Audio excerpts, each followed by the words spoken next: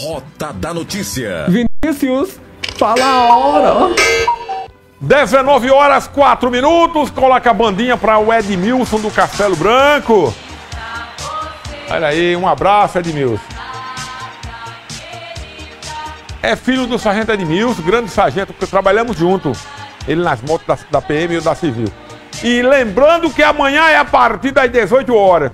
E hoje, meia-noite, já sabe, muda a chave. É, continua o mesmo canal aqui, tá? Show. Um beijo pra vocês. Um abraço.